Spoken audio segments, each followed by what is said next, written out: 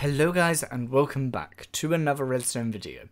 So the other day on Reddit I saw um, a gif of a sand door when when activated um, it threw sand in from all over the map uh, to build a 3x3 sand door. And that got me thinking, has there been a slightly less crazy bouncing sand door? So not a sand door that just relies on pushing the sand up and down.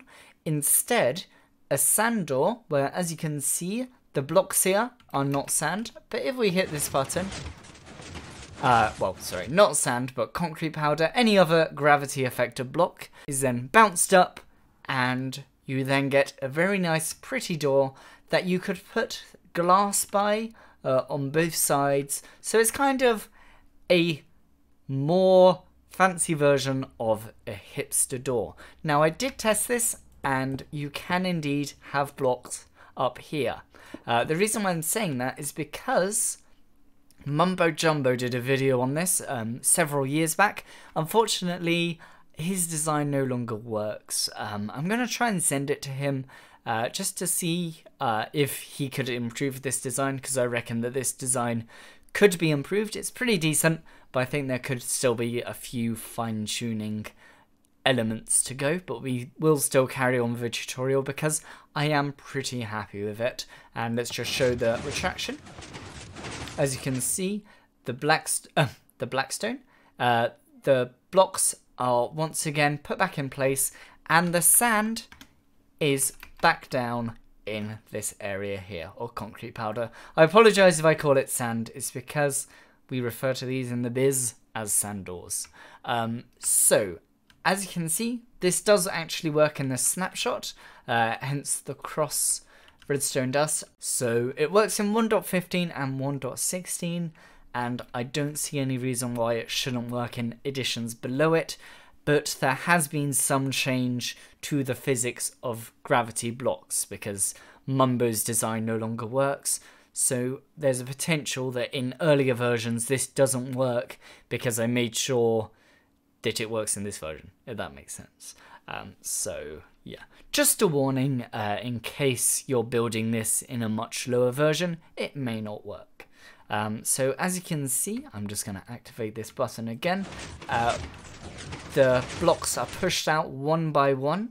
Um, so in Mumbo's design, he just had a piston sticking out the three sand blocks on top of it, uh, and that allowed them to be bounced up kind of all three at the same time. Unfortunately, that no longer works. Uh, the third sand block uh, would get caught on the slime block, and as you can see, when you retract it, um, it actually doesn't require any retract. Well, it does require a tiny amount of retraction circuit, but the grand majority um, is operated by the opening circuit. Um, so this is kind of a bit of a swivel around the redstone. As you can see, uh, it's pretty small. It is within a 5 by 7 by 11 footprint, uh, though the 11 changes to 14 when it's open because those free sand are going to be creating a bit of height from the top. So without further ado, it is time to begin the tutorial. So for the tutorial, uh, what you're going to need is you're going to need a 5x7 footprint and you're going to need to go 11 blocks down. Uh, as you can see, I've marked it out like so. And on the 11th block, what you do is you once again rebuild this 5x7 footprint. Uh, now you don't have to build both of the footprints like this, uh, but I'd say figure out where your floor is and then just go 11 blocks down and that should put you in good stead. And just build um, a bit of a standing area for you to work on. So what we're going to start with first is we're going to start on the retraction circuit. Now this is very tiny and as a result I've color coded it to be together with the slime block circuit on the bottom. So what you're going to do is you're going to come to one of your four corners. It doesn't matter which one because your door itself is centered in the center. As you can see, it's in the very center. There's three blocks to either side and one block out on each side. So it doesn't matter which corner you start on. What you do is you place a block, a torch, and then a block above that torch. Come to one side, going on the narrower end, place a repeater, pop another block at the end of the repeater, torch, surround that torch of blocks, and then put two dust here and here. If you are playing in the snapshots, which will soon be 1.16, make sure that these stay as crosses. Now then, what you're going to do is you're going to come down here, and wherever there's going to be redstone, I'm going to be converting it into um, our color coordination. And what we're going to do is we're going to come two redstone out this way, pop a block down, and then a repeater set to four ticks. Now what you're going to do is you're going to come here and place a block like so. This is where we're going to do something extremely exciting. We're going to place three blocks in a row like so. We're going to place a repeater here on 4 ticks and a repeater here on 3 ticks. Put a dust here and here and go block, block, block, and block like so. And what you're going to do is you're going to set two repeaters here to 4 ticks and you're going to come up and place a sticky piston like so, with a block here and a redstone dust on that block there. Now, the piston that you've just placed is the most important piston of them all because it has the duty of operating the slime blocks.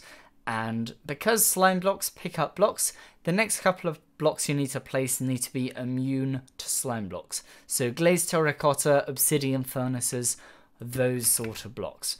What you want to do is you want to place one block here and then come out in a T pattern like so on that side, come over the slime block and just place three glazed terracotta on that side. And this is going to be the final block of the slime block and retraction circuit, which is a single block here with a repeater set to three ticks. Right, now that the first circuit is done, it's time to put our pistons in place. And we're going to just put our pistons in place. We're not going to worry about the sand just yet, uh, just in case we accidentally activate something. So what you do is you come out one to the side of the glazed terracotta on this side and place a two high row of sticky pistons matching the glazed terracotta on this side.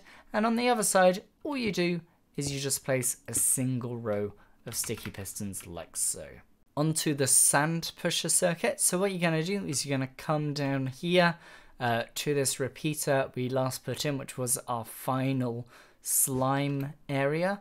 And what you're going to do is going to put two blocks diagonally like so, pop a repeater here, don't bother changing any timings, and then what you're going to do is you're going to come up on a diagonal which consists of four blocks going up like so, uh, what you're going to do is going to put a non-movable block, which is immune to slime blocks there.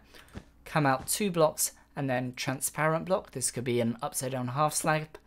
And put redstone dust on all of the blocks you just put down. Then what we're going to do is we're going to come along here, place blocks on all of those pistons, and then put two more blocks like so. Put a repeater here, set to four ticks and redstone on all of these blocks you just placed. Don't worry about the dust connecting at the moment. Uh, a future circuit will cut the dust here. And then what you're going to do is you're going to come here, place blocks here, here, here, here, and here. So we've got kind of um, a fish shape. And then what you're going to do is you're going to place uh, a total of seven ticks of delay on repeaters. Dust here, dust here, put blocks on all of these pistons and a last little thing you need to do is pop a block here and then a tripwire hook here. And that's because there's going to be a block here which we don't want to be powered by this circuit here which is why we're redirecting the redstone. And what you're going to do now is if you have been following this tutorial precisely and you marked down your 11 blocks you're going to get rid of this pillar. Uh, because there's redstone we want to get into that pillar area. Cool, so there's just one more thing we need to do in order to finish off the sand pushing circuit, and that's to put a block above the redstone that we just redirected, and we're going to put another block here, dust on top, red, um, not redstone, sorry, sticky piston, three blocks, sorry, four blocks of slime blocks, and then observer on the end. And this is going to be a rising edge monostable, which is going to be activating all of the circuitry that you just put in place. Cool, we're now on to the final circuit, which is the retraction of the floor of the door in order to get the sand to come up out of the floor. So what you're going to do is you're going to place your input block here and you're going to come two blocks down, pop a dust here, come to the left hand side of it relative to which way you're facing and then place a torch like so. Then what you're going to do is you're going to place three blocks like so and place dust on all three. Then what you're going to do is you're going to just remove this dust for a second so you don't want to stable that piston. And then what you're going to do is you're going to come this side and place four blocks like so, placing dust on all of them. Cool. When you've done that, you're going to lock out um, those two blocks I was talking about earlier. And on this one, you're going to put a repeater, set three ticks. You're going to put a block here with a torch on top and then once again, very similar to the design we had down here, we're just going to make a little cross. And so we don't get uh, a clock going, we're going to place a block here so this redstone dust doesn't interfere with that redstone dust. And a final redstone dot here.